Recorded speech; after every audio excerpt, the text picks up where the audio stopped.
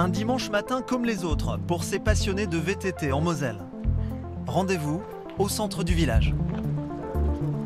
Bienvenue à tous, a du monde aujourd'hui. Euh, je vous propose euh, de faire euh, une vingtaine de kilomètres là. Vous savez que depuis quelques temps on a eu affaire à, à des, des pièges. bah, ce serait bête de, de se blesser là-dessus quoi.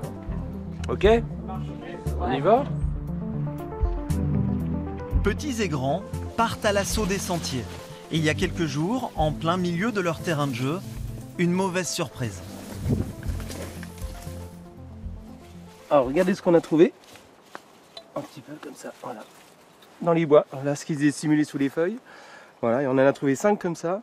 Ça peut mettre, euh, en danger la vie des enfants. On peut tomber, on peut planter ça dans les pieds. Il y a des chevaux, des promeneurs. Voilà, je trouve ça un peu inadmissible. Quoi. Bah, c'est un peu dommage, on est toute une bande là où on peut s'amuser un peu dans les bois avec nos vélos et puis bah voilà, quand on n'ose plus sortir quoi.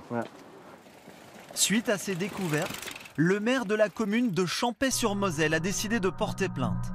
Ces derniers mois, des pièges anti-VTT sont apparus aux quatre coins de France, un pieu en Alsace à la réception d'un saut, et même des cordes tendues en pleine descente dans les Alpes. Et pour les VTTistes, les coupables, ce sont eux. Les chasseurs. Bonjour à tous. En France, il faut dépenser parfois plusieurs milliers d'euros pour pratiquer cette activité. Alors les chasseurs poseraient des pièges pour éloigner les vélos qui font fuir le gibier. Piéger la forêt, comme piéger sa maison, ou comme attaquer les policiers et les pompiers, on ne peut pas cautionner ça. Des abrutis, il y en a sûrement dans les chasseurs, mais il y en a aussi beaucoup dans les antichasses quand même, hein, beaucoup. La traque, nous. Sur le terrain, les choses ne sont pas aussi simples. La veille, en caméra discrète, nous sommes allés à la rencontre d'autres chasseurs. Au bout de quelques minutes, les langues se délient. On Il y a des gens qui le font. Il y a des gens qui le font ouvertement. Des gens qui le cachent. Il y a des gens. Donc tu mets des planches.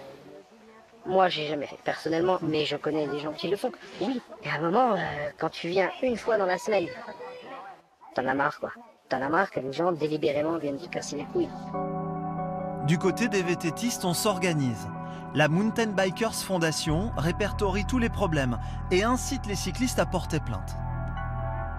Ça va permettre d'envoyer le signal à ceux qui seraient tentés de faire ça que bah non, c'est pas euh, quelque chose d'anodin, qu'on est en capacité de réagir, qu'on s'organise et qu'on porte plainte systématiquement. Dans l'Hérault, un chasseur de 57 ans a été condamné à de la prison ferme pour avoir posé des pièges. Avec le développement des VTT à assistance électrique, le nombre de pratiquants explose. Les différentes parties tentent de communiquer, mais les conflits pourraient bien être de plus en plus fréquents.